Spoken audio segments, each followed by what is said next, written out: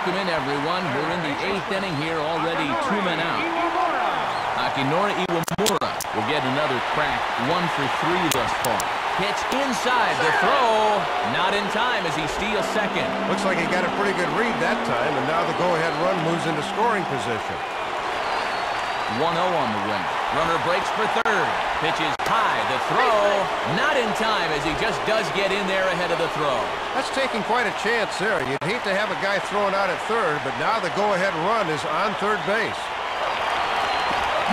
Spins and pulls this one down the line at first.